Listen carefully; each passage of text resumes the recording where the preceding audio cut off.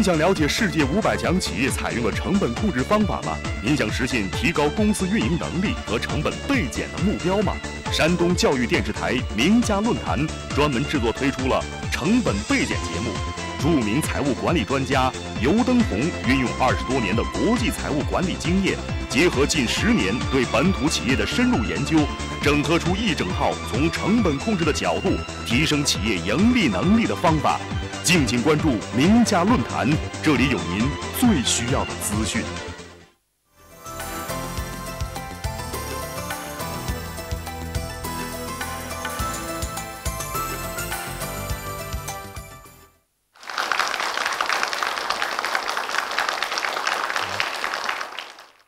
各位观众您好，欢迎您收看名家论坛成本背景系列。今天和你探讨的主题是成本倍减的鱼骨图分析。成本的管理就是企业管理的一个核心。企业存在的每一天，大概都在不断的寻找成本进一步下降的空间。对任何一个企业来讲，成本的管理跟控制或者意减。是每一天存在的一个主题。当我们把这个当做是一个重要的主题来思考的时候，也许我们可以利用鱼骨图的分析法，试着找出更多的方向、更多的空间，来协助企业的整体在供应链当中、在管理的制度当中，寻找到好的方法开始。这是个鱼骨图的主题。也许我们可以找到像这样的一个小的主题，我们真的做到的。全员成本控制吗，我们还有机会再下降成本吗？大家先来谈，我们认认不认为整个组织当中还可以继续寻找成本下降，做心理建设。第二个主题，全员大家一起来，从供应链里面的方方面面，每一个职能部门都有责任，不只是生产车间。所以这个角度我们来谈全员做成本下降。第三个，你要知道成本在哪里。才能够去下降成本。你要知道怎么样把成本给驱动出来了，你才能够从驱动的因素当中去寻找成本下降的因素。所以你要找成本的结构。接下来再寻找成本的方法。成本的方法能够找到之前，肯定是你先了解成本到底在哪里。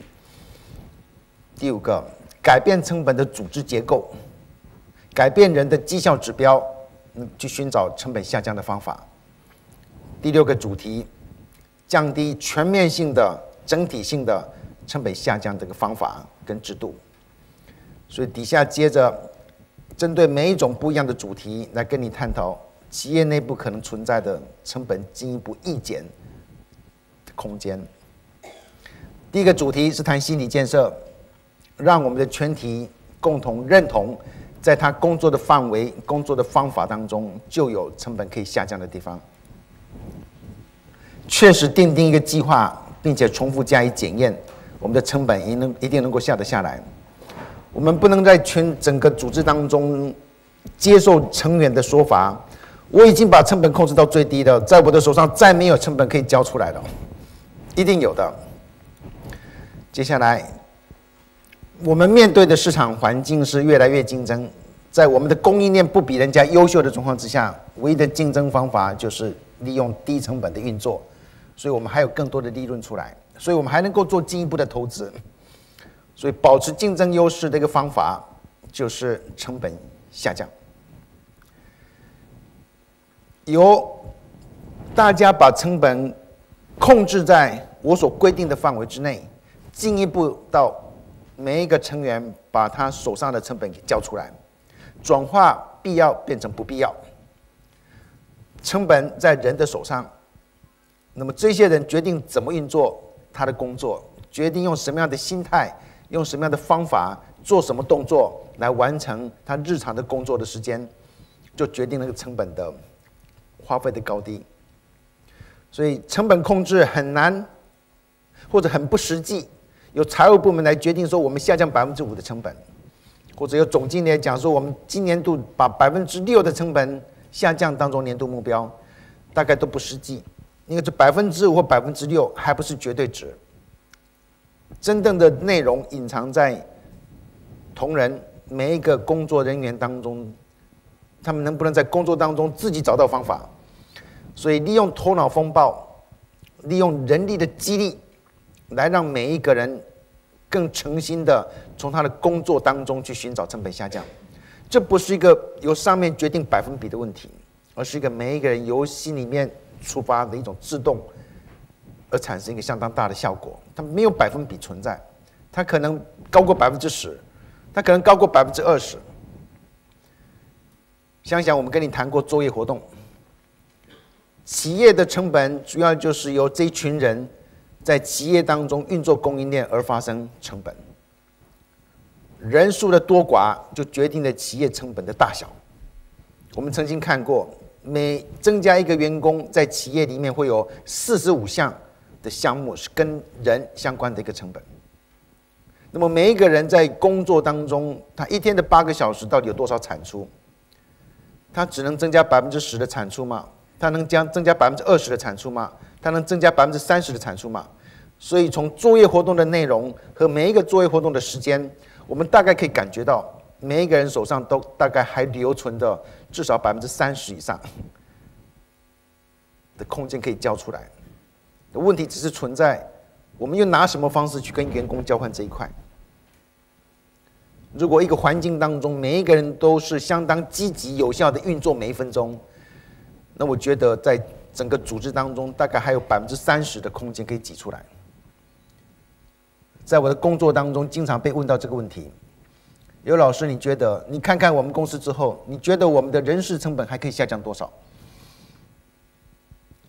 我回答说：我不用细看，我就可以回答你这个问题。你把百分之三十当做个目标。企业主吓了一跳，怎么可能？我们人每一个人看起来都这么的忙碌，怎么可能下降百分之三十的空间？可在经过一段时间的检讨、跟仔细的观察、跟作业活动的分析之后，企业主大概能够认同，恐怕这个空间还不止三十。我们大概都都都能够了解，即使以我们自己来讲，不管你居居在企业当中的哪一个职位或者哪一个职能上面，你大概能够感觉到。如果你的时间管理再进一步的调配一下，如果每一天的活动再更紧一点的话，你每天能够产出量大概还能够增加相当高的一个百分比，是吧？您都有这种感觉，更别提企业当中的另外一些人，他们肯定手上还有相当多的有关于时间管理、有关于作业活动的重新安排，可以挤出一块空间出来。所以，他不是利用企业主来决定今年度我们百分之五。这样一个目标下来的，因为你定这个目标出来，员工还是开始会跟你做博弈的动作，所以在组织当中想办法把博弈这种东西给拿掉，是个相当重要的方法。怎么样让我们产生一种从内心当中让大家共同来把企业给做好，而不是借由考核的方式来让员工做事情？我曾经讲过。人力资源上面有关于成本的三不，一个是不懂不做，一个是不考核不做，另外一个是不激励不做。不懂不做还好，我们可以教他，除了财务报表的知识之外，除了会计科目的知识之外，我们让他增加更多的有关于成本方方面面的知识。不考核不做，我们可以定出一些绩效指标，在公司里面从人的角度来看。每一种动作的标准时间在哪里？但是我把最后一个放在不激励不做。老实说，这个能够产生最大的效益。当人在公司里面得到投入，企业投入的员工，让员工觉得这个环境就是为了他而建设的，所以他在环境当中可以学习，他在环境当中得到他能力的提升，看得到他未来一个更美好的前途，他因而努力的工作。而努力的工作的结果，就是使得工作做得更快速，结果就是作业成本的下降。这种空间应该相当的大。它不是借由企业利用考核指标，第二个方法不是利用借由企业定个考核指标，说今年下降百分之五吧，这种角度来的。第三种方法比第二种方法更好。第二种方法架构在第一种方法就对成本的方方面面理解上面，所以我不喜欢。用控制成本这个概念，因为我认为财务的作用不在控制，财务的作用在提供资讯，把他们想要执行的一种管理的目标，在无言当中让人家看到数字，自动改进。那么这自动改进的方法，就是借由人力资源的方法，把人的奖金跟口袋跟他的绩效给完全连接，让人学习，让人自我激励。那么这个方法应该是相当有效的。我不喜欢控制，我喜欢用意减、倍减。控制是您定的您定的指标，意减是它透过方法的改善而产生出来的一个效果。制度配合。企业当中，如果认为时间管理是很重要的，那么人员应该在一个时间管理的体系当中运作。所以，我们从时间管理当中取得更多的资讯：时间到底怎么被花掉了？一个部门花掉了多少时间在做什么样的动作？这什么样的动作能进一步被改善吗？用机器来运作，用更便宜的员工来运作，用什么样的方法来取代那一种花那么多时间的作业活动？这就是成本下降的方法。那么，它需要一个制度。我们不是光定出一个目标出来说，这个部门在年度应该完成这个目标就够了。这是我们过去的做法，在我们找不到好的管理方法之前，我们只能用目标管理。但是当财务管理的技术越来越演进的时候，我们可以把财务管理的方法配合进来，目标管理，让他们在运作过程当中的作业活动跟时间同样被计算、分析、检讨、改进。建立一种制度，使得每一个人在企业当中，不管你在做哪一种事情，在花用组织的资源，这资源包括人、财、物，包括时间，包括机会，都好像在使用到自己口袋里面的钱一样的感觉。这系统到底是什么？说起来是蛮很多个东西存在。台湾的经济大概从一九七零年开始起飞，一直到一九九五年左右。那么那一段时间的前十年，在一九九五年之前的前十年，台湾的经济的成长快速的很，而那边有一个相当大的动力，就是民营企业纷纷上市。所以当老板找到一个特殊的市场，找到一个特别的加工的方法，增加价值的方法，能够把他的产品给卖出去，他即使是个相当简单的，譬如脚踏车，譬如拖鞋，找到一个相当简单的一东一个一个产品，却有一个特定的市场。他告诉员工说：“你们看看，这市场经济发展的这么快，我们这个产品将来可以让我们发财。你们大家愿不愿意发财？愿意是吧？那么愿意，大家跟我一起来，让我们定目标，三年之内把这企业搞到十几个亿，让我们上市。结果是，员工没有礼拜六，没有礼拜天，没有上班时间、下班时间，没有没有没有周末，没有假日，全心一起来，企业怎么样上去了，上市了？结果是，员工都发财了。”哪一个员工不是为了财务的目的在工作？哪一个员工不是为了让自己发财而在一个企业当中运作？所以，企业如果带来这样一个目标，让员工觉得他有希望，三年之内我可以买更大的房子，买更好的车子，他肯愿肯定愿意拿某一些东西出来交换，而那个某些东西就是成本。它本来可以下降，但是你用什么方法来跟他交换？所以，像刚才那个员工的分配机制。员工变成公司的主人翁，这个主人翁不是一个抽象的概念，它是真的有股票存在的才叫主人翁。那么它就能够产生这种效果，使用到企业的资源，就好到使用到自己口袋里面的钱一样的感觉。利用目标管理的办法，定定目标，执行、考核、修正 PDCA，做一个永续的改进，不断的改进。所以您看看。我在真实的环境当中，在企业当中经常听到，我们利用预算制度来做成本控制。预算制度是什么？每年变一次，在年初的时候跟你谈定整年的目标。这个怎么叫做 PDCA 的永续改进呢？一年才改进一次，而且是目标在大家仲裁、大家在博弈的结果下面定下来的。本来可以有百分之五十，结果你知道说明年还有百分之十，后年还有百分之十，今年干脆只承认百分之五就好了。有百分之五十留着，以后每年再慢慢来缴出来，不对的。企业是永续的改进，不断的在寻求改进，不能透过预算一年改进一点点的做法来做。全部员工都是一个主角，来分配成本控制的责任。没有任何一个职能部门说我是比较增加价值的，我不应该被控制成本。你是行销部门，你是研发部门，你是人力资源部门，就绝对是个策略性的成本吗？就绝对是一个增加企业价值的东西吗？难道没有你自己作业成本的有效跟无效吗？人力资源部门可以说是替替企业增加价值的，是的。可是人力资源你本身的运作就绝对是增加价值吗？譬如聘用一个人员，过去聘用一个人需要三个礼拜，现在聘用一个人需要四个礼拜。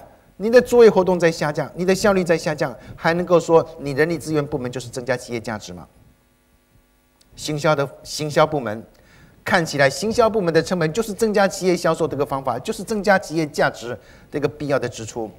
可是过去的行销费用相当于销售费用的百分之十，现在已经把行销费用涨到企业销售收入的百分之十五了。这百分之十五、百分之五的上涨，还能说是帮企业增加价值吗？每一个职能部门都是由人在运作，产生效益。那么你们做的动作肯定是有增加价值，确定是。但是增加价值的过程，你也在发生作业活动，也在耗掉资源，包括人、跟财、跟物。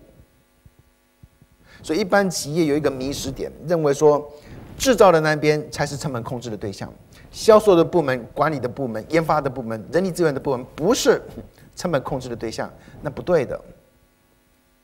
每一个智能部部门都在运用作业活动，那么作业活动本身就是一个成本下降的空间，它存在任何一个地方，全部的员工都有责任，也都有空间。首先建立全体的意识，让大家都认同他身上就有成本可以缴出来，那我们大家来寻找那种越来越好的、越来越好、越来越低的、越来越低的一个成本结构，所以我们总体的成本就下降，固定。跟变动对企业有一个完全不一样的意义。成本是管理的，才易减下来。成本不是控制的，所以你在了解成本能够易减之前，先要知道成本就有固定跟变动的概念。固定成本的意思是说，企业的收入不增加，它也要发生，这就有点麻烦了。这就是我们不喜欢的成本。所以固定成本要尽量转换成变动成本。请注意到，我们不是把固定成本跟变动成本给拆分开来，说这是固定成本，我们不要去管它吧，没办法了，不对，这个角度的管理还不如另外一个角度的管理。我们要让所有的固定成本转化成变动成本。既然是变动成本，收入增加它才能增加，收入下降它肯定要下降。成本一减不能交由车间。它需要研发单位、技术部、生管部共同来动作，才可能达成效果的。整个公司就是好多个小供应链，这是个很重要的概念。一个企业是一个大供应链，每一个产品、每一个项目、每一个客户的订单都是一个小供应链。那么当然，每一个动作都是为了使得小供应链的总体运作成本是最低的。我们从另一个角度，全员下降成本，财务人员下降资金成本，技术部门用价值工程的设计来改善，用工业工程的方式来改善机器运作的效率，生产部门极力降低流程，降低不良率，提高良率，减少超耗，不能由各个部门单独思考成本下降的活动。所有价值链的活动互相牵牵动，以单独职能部门做成本控制，而不思考对整个供应链的影响，就好像瞎子摸象，他们的没有看到企业是个整体。那么这个方法已经在前面几集当中谈过，它的方法就是尽量把大供应链转化成小供应链、小供应链、小供应链，让组织当中有更多的人照顾到整个的供应链，才会拔高高度。避免部门化的决策影响到总体成本的上升。